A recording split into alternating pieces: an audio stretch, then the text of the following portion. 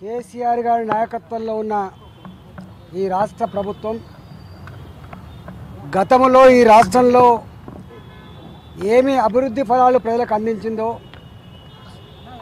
రాబోయే కాలంలో ఈ రాష్ట్రాన్ని ఎటువైపు డ్రైవ్ చేస్తుందో ఈ రాష్ట్ర ప్రజానికానికి రాష్ట్ర ప్రజల సంక్షేమం కోసం ఏ ప్రయోజనాలు అందిస్తుందో ఆ విధానపరమైన పత్రమే గవర్నర్ గారి ప్రసంగం. ఈ విధానపరమైన పత్రం మీద రాష్ట్ర ప్రజల క్షేమం మీద సంక్షేమం మీద చర్చించేటువంటి ప్రాథమిక హక్కు శాసనసభ్యులుగా మా అందరికి ఉంటుంది. అదేవిధంగా దాన్ని ఆమోదింపజేయడం గవర్నర్ గారి ప్రసంగం మీద అన్ని పార్టీల శాసనసభ్యులు చర్చలు జరిపి ఆ గవర్నర్ గారి ప్రసంగాన్ని ఆమోదించే బాధ్యత కూడా శాసనసభకు ఉంటుంది. కానీ వాళ్ళ ముఖ్యమంత్రి కేసీఆర్ గారు గత నలభై యాభై సంవత్సరాలుగా వస్తున్నటువంటి సాంప్రదాయాన్ని రాజ్యాంగ పద్ధతులని తుంగలో తొక్కి శాసనసభ్యుల హక్కులని శాసనసభ హక్కులని గవర్నర్ గారి బాధ్యతని తుంగలో తొక్కి కేసీఆర్ గారి రాజ్యాంగాన్ని అమలు చేసి ఈ రాష్ట్రంలో ప్రజాస్వామ్యాన్ని అపహాస్యం చేసిన ముఖ్యమంత్రి కేసీఆర్ గారు. రాజ్యాంగ ఉల్లంఘనకు పాల్పడినటువంటి ముఖ్యమంత్రి గారికి పదవిలో కొనసాగే నైతిక హక్కు లేదని చెప్పి ఈ సందర్భంగా నేను డిమాండ్ చేస్తా ఉన్నాం. నాలుగు కోట్ల ప్రజానికం శాసనసభలో శాసనసభ్యులుగా పార్టీలుగా మా గురించి ఏం చర్చించబోతున్నారో ఈ రాష్ట్ర అభివృద్ధి కోసం ఏం పని చేయబోతున్నారని చెప్పి ఎదురు చూస్తున్న ఈ సందర్భంలో గవర్నర్ గారికే దిక్కు లేకపోతే గవర్నర్ ప్రసంగానికే తిలో తిలోదకాలు ఇస్తే శాసనసభ్యులుగా ఇవాళ మా శాసనసభ పక్ష నాయకుడి ఆధ్వర్యంలో ముగ్గురు శాసనసభ్యులం రేపు అసెంబ్లీలో మా పరిస్థితి ఏముండబోతుందో మాకు అర్థమవుతా ఉంది. స్పీకర్ గారి చైర్ని అడ్డం పెట్టుకొని మేము మాట్లాడుతున్న సందర్భంలో మైకులు కడి చేయడం అవమానకరమైన పద్ధతిలో మా ఆత్మగౌరవం కించపరిచే పద్ధతిలో మాట్లాడడం శాసనసభ్యులను ఉసుకు ఉసుకొల్పడం మా ఆత్మగౌరవాన్ని దెబ్బతీసే ప్రయత్నం ఇప్పటికే జరుగుతూ ఉంది.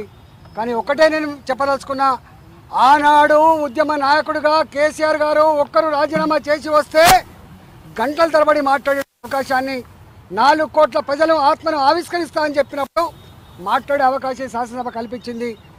మేము టీఆర్ఎస్ పార్టీ శాసనసభ్యులుగా ఏడు మంది ఉన్నా పది మంది ఉన్నా నాలుగు కోట్ల ప్రజల పక్షాన మేము కొట్లాడేది ఉంది మాట్లాడేది ఉంది.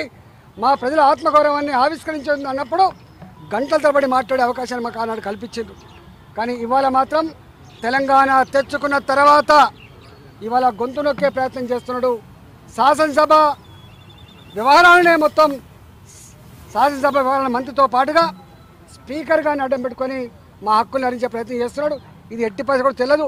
ఇవాళ మేము ముగ్గురమే కావచ్చు కాక ఆనాడు కేసీఆర్ గారు ఒక్కడే బయలుదేరి ఎట్లయితే తెలంగాణ రాష్ట్రాన్ని సాధించుకున్నామో ఇవాళ ముగ్గురమే శాసనసభ్యులం కావచ్చు కాక రాబోయే కాలంలో ఈ అసెంబ్లీ మీద ఎగిరే జెండా భారతీయ జెండా భారతీయ పార్టీ జెండా ఎగిరబోతుంది ఈ గడ్డ మీద అని చెప్పి నేను తెలియజేస్తా ఉన్నా. ఖచ్చితంగా తెలంగాణ రాష్ట్ర ప్రజానీకమంతా కూడా మా వైపు ఉత్కంఠగా చూస్తున్నారు. అనేక సమస్యలతో వీఆర్ఏల సమస్య కావచ్చు వీఆర్ఓల సమస్య కావచ్చు నిరుద్యోగ యువకుల సమస్యలు కావచ్చు రైతాంగ రుణమాఫీ సమస్య కావచ్చు మహిళల సమస్య కావచ్చు షాపుల వల్ల లక్షలాది మంది మహిళల పుస్తలు తెగిపోయే సమస్య కావచ్చు ఒక్క మాటలో చెప్పాలంటే ఈ రాష్ట్రంలో ఒక నిరంత నియంకృష పాలన కొనసాగుతూ ఉంది. ఈ రాష్ట్రంలో ఒక దోపిడీ పాలన కొనసాగుతూ ఉంది. ఈ నియంతృత్వానికి దోపిడీ పాలనకు వ్యతిరేకంగా శాసనసభ్యులుగా అసెంబ్లీలో ఫైట్ చేసే ప్రయత్నం చేస్తాం. అన్ని వర్గాల ప్రజల యొక్క సమస్యలు ప్రస్తావించే ప్రయత్నం చేస్తాం. లేని పక్షంలో అసెంబ్లీ బయట ప్రజాక్షేత్రంలో ఈ ప్రభుత్వంతో అమీ తుమి తేల్చుకునే ప్రయత్నం తప్పకుండా చేస్తామని యావత్ తెలంగాణ ప్రజలారా మీ అందరు కూడా విజ్ఞప్తి చేస్తూ ఉన్నాం. మాకున్నంత శక్తి మేరకు అన్ని వర్గాల ప్రజల కోసం అసెంబ్లీలో కొట్లాడుతాం. అక్కడ అవకాశం లేని పక్షంలో ప్రజాక్షేత్రంలో మీ అందరితో పాటుగా మీ పక్షాన్ని నిలబడి కొట్లాడతామని చెప్పి ఈ సందర్భంగా మీకు హామీ ఇస్తా ఉన్నా ముఖ్యమంత్రి గారికి మరొకసారి తెలియజేస్తా ఉన్నా శాసనసభను కించపరచకండి శాసనసభ్యుల హక్కులు హరించకండి.